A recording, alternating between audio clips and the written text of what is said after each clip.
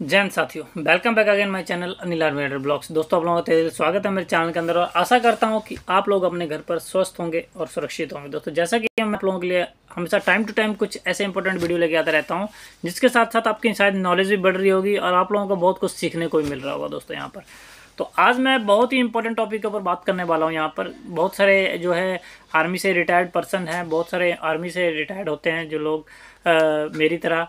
तो क्या है, कहीं कुछ ना कुछ कहीं ऐसी चीज़ों में फंस जाते हैं, जिसके कारण क्या होता है, उनका जो पैसा है, डूब जाता है। तो मैं यही चाहता हूँ दोस्तों कि आप अपना पैसा कहीं ना डुबाए। आप कहीं ऐसी जगह इन्वेस्टमेंट करें, जहाँ पैसा भी आपके हाथ में रहे और दो चार साल बाद आपको एक अच्छी खासी वहाँ से क्या है, एक रकम मिल सके या आपकी इनकम हो सके। तो ऐसी जगह आपने इन्वेस्टमेंट करना है, ऐसी जगह आपने देखनी है दोस्तों, ठीक है? अपने, क्योंकि बहुत ही मेहनत का पैसा होता है आप लोगों का तो इसको गंवाना नहीं है आपने, इसको बहुत ही अपने फ्यूचर के लिए यूज़ करना है दोस्तों। तो एक अच्छे रिटर्न के साथ आप जो पैसा जो है इन्वेस्ट करने के सुरक्षित तरीके कौन कौन से हैं, वो आज मैं इस वीडियो के अंदर आप लोगों को यहाँ पर बताना है। तो वीडियो को लास्ट तक ज़रूर देखना दोस्तों, अगर अच्छा लगे तो और लोगों के साथ ज़रूर शेयर कर देना, क्योंकि आपके एक शेयर से हो सकता है किसी का यहाँ पर जो है कहीं चीज़ किसी चीज़ में फंसने वाला हो तो क्या वहाँ से वो बच जाए दोस्तों, ठीक है? तो सारी चीज़ें मैं इसीलिए यहाँ पर कवर करता हूँ अपने वीडियो के अंदर, ताकि आप लोग अवेयर रह सकें हर, हमेशा से हर चीज़ से और कहाँ कहाँ आपको फ़ायदा मिलने वाला है, वो सारी चीज़ें मैं अपने इस वीडियो के अंदर आपको कवर करूँगा दोस्तों। चलो ज़्यादा देर न करते हैं वीडियो को स्टार्ट करते हैं। वीडियो स्टार्ट करने से पहले जितने भाई बहन मुझसे जुड़े हुए उनको मेरा जय हिंद और राम राम। चलिए, जल्दी से वीडियो स्टार्ट करते हैं। तो पैसे जो है निवेश करने का सबसे करने का जो तरीका है, वो सभी का एक क्या अपना अपना होता है। को हर कोई अपने अपने तरीके से पैसे को क्या इन्वेस्ट करता है कहीं ना कहीं। तो एक व्यक्ति को जो है रिस्क लेने की जो है उसकी कैपेसिटी पर निर्भर करता है कि वो कितना रिस्क ले सकता है, ठीक है ना?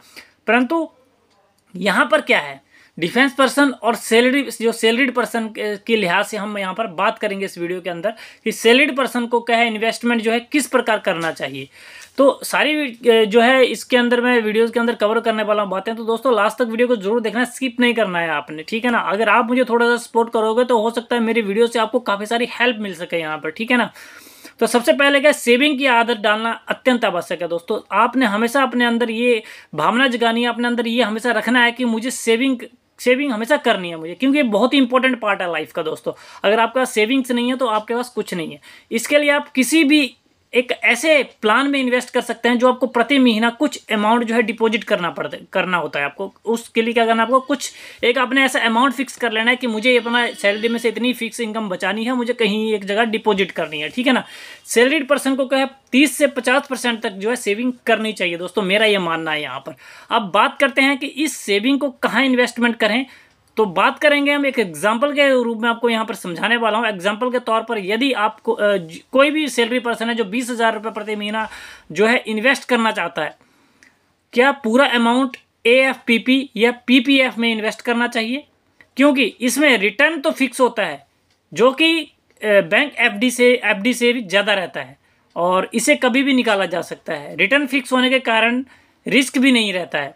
ठीक है? परंतु पूरा amount A F P P में इन्वेस्टमेंट करना जो है रिटर्न के लिहाज से ठीक नहीं है। इसमें नुकसान ये है कि आप जो है इसमें नुकसान क्या होता है दोस्तों आप लोगों का?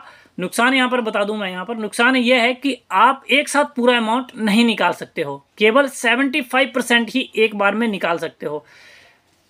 आ, बात करते हैं इंटरेस्ट भी जो इसमें आठ से नौ परसेंट के बीच में रहता है जबकि महँगाई दर ही पाँच परसेंट है। जिससे पैसे की जो वैल्यू में जो है केवल तीन से चार परसेंट की वृद्धि होती है। सैलरी पर्सन को अलग अलग जगह पर जो है निवेश करना चाहिए, जिसमें रिस्क भी एवरेज हो और प्रॉफिट भी अच्छा हो। तो इतना तो आप जानते हैं कि बिना रिस्क बिना रिस्क के क्या है, आप अपने पैसे को अधिक स्पीड से नहीं बढ़ा सकते हो। इसलिए आपको थोड़ा सा रिस्क भी लेना ज़रूरी है। यहाँ रिस्क से मतलब है म्यूचुअल फंड एसआईपी या इक्विटी मार्केट से है, जिसमें शेयर जो शेयर प्राइस है वो कम ज़्यादा होता रहता है। आप पैसे को जो है कैसे इन्वेस्टमेंट कर सकते हो, किस तरह से इन्वेस्टमेंट करने का सोच सकते हो, वो आपको मैं यहाँ पर बताता हूँ दोस्तों। तो यहाँ पर क्या करना क्या है, आपको अपनी सेविंग का लगभग पचास परसेंट जो पचास परसेंट टैक्स है जो, वो सेविंग स्कीम में जो है निवेश करना है आपने, जिसमें मुख्यतः A F P P fund हो गया पी हो गया, या सुकन्या समृद्धि योजना है।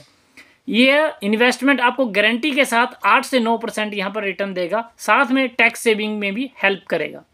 सेकंड पॉइंट की बात करते हैं। इसके बचे हुए फिफ्टी परसेंट को दो हिस्सों में डिवाइड कीजिए, जिसमें बीस परसेंट तथा तीस परसेंट है।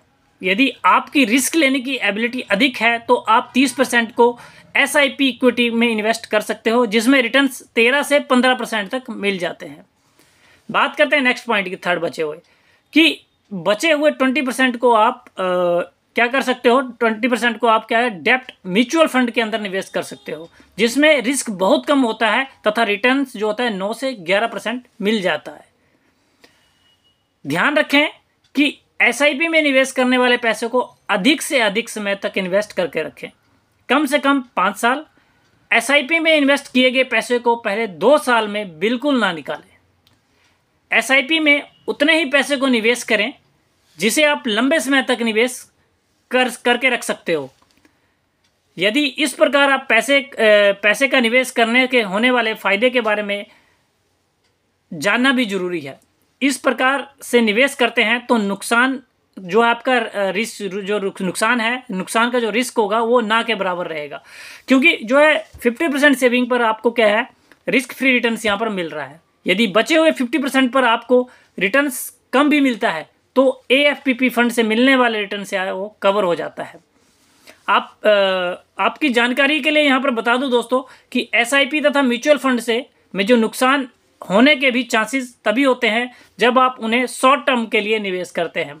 लंबे समय तक इन्वेस्टमेंट करने से ए एफ़ पी पी से जो से जो है कम रिटर्न्स मिलने के चांस बहुत कम हैं।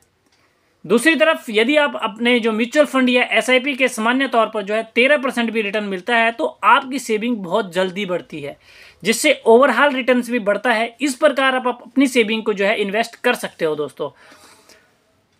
तो यहाँ पर मैं बताऊँ दोस्तों ये जो आ, मेरे जो है निजी विचार हैं जो आपके विचारों से अलग हो सकते हैं और आप अपने पैसे का जो है इन्वेस्ट करने से पहले अच्छी तरह से रिसर्च ज़रूर कर लें। मैं जो मैंने ये इस वीडियो के अंदर बताया है आप उस पर फोकस ना करें दोस्तों। मैंने सिर्फ़ अपने निजी विचार आप लोगों के सामने रखे हैं।